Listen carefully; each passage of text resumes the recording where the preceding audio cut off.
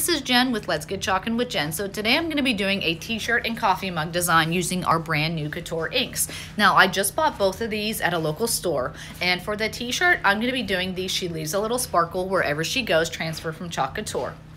Now, what you see there is our brand new Couture ink mats. Now, you could definitely put a piece of cardboard in between your t-shirt if you want to, but what I love about these mats is number one, if you, if you should have a thin fabric, it'll absolutely stop the bleed through. Or number two, as you just saw me doing there, one side of this mat is actually has like a sticky surface and what that allows me to do is smooth out the fabric area that I'm going to do my design on so that I have a nice flat surface. So today I'm using the Fawn and the Shimmering Silver Couture inks. Now our inks come in two different sizes or two or three ounce and then once I'm done doing this design I'm going to set it aside to dry while I show you how to do the coffee mug.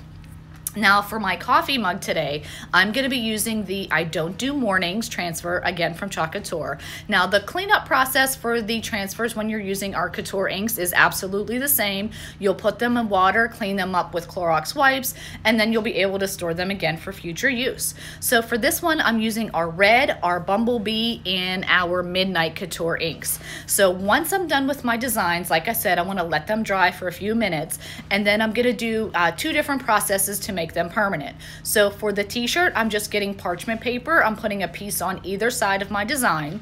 I have my iron heating up on medium heat and I'm gonna iron each side for four minutes to make this design permanent and you will be able to wash it. For my coffee mug, I will place that in an oven on 350 for 30 minutes.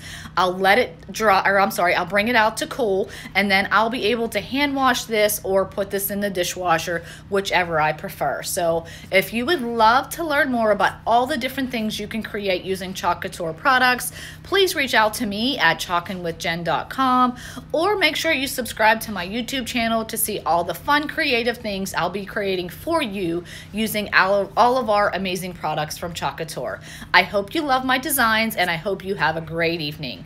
Thank you.